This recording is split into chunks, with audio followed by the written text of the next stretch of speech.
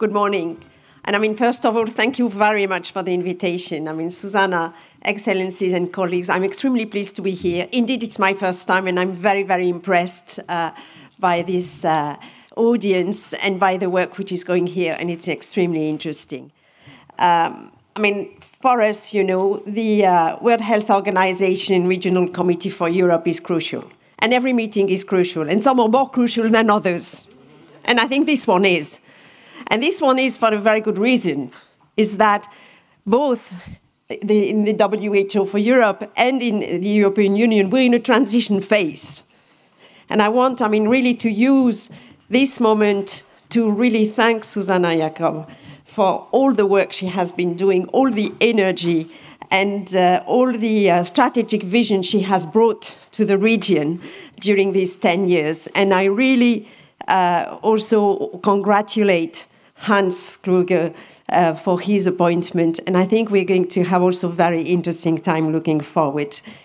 I'm, I mean, I look to this uh, productive partnership.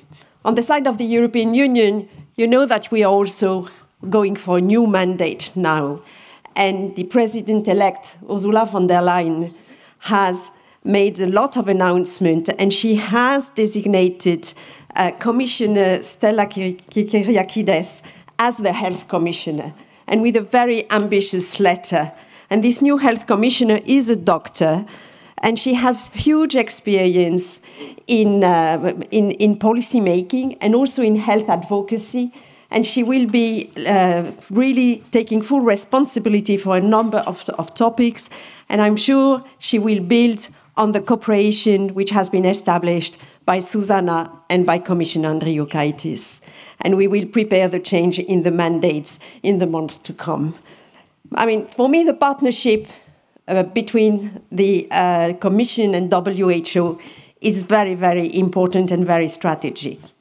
Because basically, we share the same policy framework, we share the same goals, we all work under the UN 2030 agenda, and we have shared responsibility in particular for the, for the specific goal three on health and well being. And secondly, we are complementary in our roles. So we can really reinforce each other. And if you look at the, 20, the 2015 Vilnius Declaration, it has established a lot of mechanisms to coordinate and cooperate. And this has been extremely useful. And it, it, is, uh, it has outlined common priorities uh, but also ways of working better together on a daily basis. And it would be very, very difficult for me now to go through all the things which have happened under the umbrella of this declaration. But because, I mean, there were numerous topics and different ways of interacting which have been uh, uh, put in place.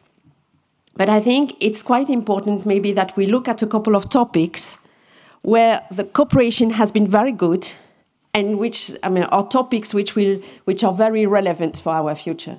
And I have selected to maybe have a word on crisis preparedness, uh, antimicrobial resistance, cancer, uh, inequalities, and maybe last word on pricing. On crisis preparedness, I mean this is core business of the two institutions, and it's the base of our collaborations and I mean, we all aim at full implementation of the international health regulations. At the European level, we have our legislation, which is on the cross border health threats. And this is a framework which allows us to boost preparedness, to strengthen uh, surveillance and monitoring, and also to improve response to health emergencies. And we have regular communication and coordination within the EU Health Security Committee. I mean, lots of you know it. It's a high level uh, body for preparedness and responses to health emergencies. It involves member states, it involves international organizations, and especially WHO. And I mean, we have cooperated over the years now, but we are never prepared enough, and we still need to improve the way it works. And I have to highlight that recently we made a number of improvements. Uh, the early warning and response system for notifying serious cross border health has been revamped. It has been made more responsive. It is now more connected to other alert systems. Uh, we also have earlier this year uh, organized joint public procurement for pandemic flu vaccines, and 14 EU member states have uh, jointly signed a framework agreement for this purpose. And it's quite important because it uh, allows to have a joint action, coordinated action on vaccination, um, which is extremely high on our agenda. Some of you might have attended last week vaccination global summit, which we jointly organized with the WHO. Um, the summit has shown again that when we pull forces together, we can have a lot of impact and we can reach out to important decision makers and stakeholders. So I have no doubt that we will continue our efforts on vaccination in the future because it's, it's very high on agenda of both uh, institutions and we can not rest in this area on our laurels. I mean, we urgently need to uh, prioritize communication on vaccination. We need to explain the benefits, we need to combat myth and skepticism, and we need to have a definite impact on uh, higher vaccine coverage and make sure that uh, vaccine hesitancy becomes history. The second topic I wanted to discuss is uh, antimicrobial resistance. Uh, rising levels of antimicrobial resistance are really uh, threats to our health and health systems. They present a big risk to the, um, to the health security of our nations. If you take the EU right now, on average, per day, 100 people die of resistant infections, and half of these deaths could be avoided. And bacteria, they, they know no borders. They do not, they ignore differences in geography, culture, and language. This has to be a global fight. And I mean, in this context, we are extremely grateful to the WHO for its leadership. We are very grateful for the efforts to implement the Global Action Plan on AMR. And for the European Commission, it's also one of our top priority. Our objective is to be one of the best practice region globally, and uh, we, we are implementing our European One Health Action Plan against AMR, which is fully aligned with the uh, Global Action Plan and the WHO, WHO European Strategy. We already enjoy excellent cooperation, uh, cooperation with the WHO European Office and with the member states, and we will continue to work closely with all our partners in Europe on this topic. And if you have uh, looked at the announcement of our President elect Ursula von der Leyen, you have seen that she has highlighted AMR as one of our biggest challenges, which requires a global response. So she has also highlighted commitments on AMR which could lead to a potential global agreement. Cancer is another topic which is uh, on, for which we have really a, a, long track record of cooperation with the WHO. I mean, this goes back 35 years ago when we had the first Europe Against Cancer Action Plan.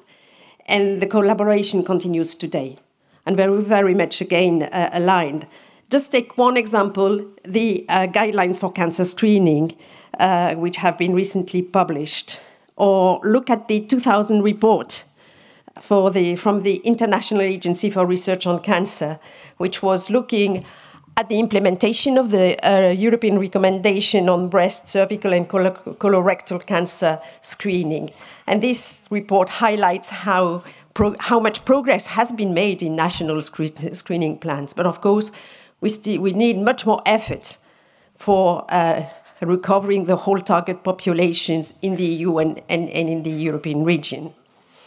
So, looking ahead for us, the, uh, supporting the national planning on cancer is certainly an area where the Commission will work together with the WHO regional office and cooperate even more than before. So, I can also assure you that uh, cancer will remain a high priority, and I can again for this ref, refer to the uh, now political announcement of our, of our new president-elect, who said that uh, we, the European Union should put forward a European plan to beat cancer. And I mean, this will be an important initiative in the months to come, and this will be another opportunity for uh, to deepen the cooperation in this field with our colleagues of the WHO. I also want uh, to take the opportunity to highlight the recent WHO initiative against cervical cancer and the promotion of the elimination of the human papillomavirus by vaccination. Once again, I mean, this is an area where vaccination has a role to play and uh, where, we, where we can really support joint initiatives in this area to improve cancer prevention. Let me come to health inequalities. Um, I welcome the focus of the uh, WHO Regional Office for Europe on greater equity in health. This is a very important topic at the uh, European level, and I'm glad to see that uh, this topic is again on today's agenda meet, of the meeting. And the Commission's approach to integrate health inequality dimension in all activities it has now been strengthened. Let me take, for instance, um, some criteria on this. We have, uh, when we select uh, best practices in the EU on non-communicable diseases, one of the criteria we, ha we have to select the best practices is the extent to which the practice contributes to reduce inequalities. So together with the WHO, we have also worked in the area of uh, improving the health status of refugees and migrants, which is an important dimension of inequalities because they are really an important population at risk of lower health. Health literacy is also an important dimension of health inequalities, and in that framework, we recognize that the Migration and Health Knowledge Management Project was well implemented by the WHO Regional Office for Europe, and this was done in the collaboration with the Commission. So, this is also one area where raising awareness, fostering and disseminating knowledge and increasing adoption of migrant health good practices really helps for uh, reducing inequalities. And women's health is also another dimension of the issue with which we have also joint activities. A final word, as I said, on pricing. Um, I mean, these, uh, we, we have a lot of discussion across the, the Union and also globally on availability access and affordability of medicines. And the, the organization of delivering health systems, and in particular the issue of pricing and reimbursement of, of um, treatment, are issues which are at national competence. Doesn't mean there's no EU dimension in the debate. Uh, the, pharmaceutical, the pharmaceutical sector, for instance, is subject to competition rules uh, which are set at the EU level. So it is subject to the rules on unfair pricing by dominant undertakings. We also have a whole legislative, uh, a whole legislative body uh, with uh, legislations ruling uh, market access uh, or um, incentives, um, intellectual property rights, or transparency rules. So there is an increasing appetite at the European level to review to what extent the rules which we have, uh, the, the, policy tools at the EU level, can help the debate and uh, can improve transparency and, and, and, incentives at the EU level. So we are part of that debate on the access and affordability.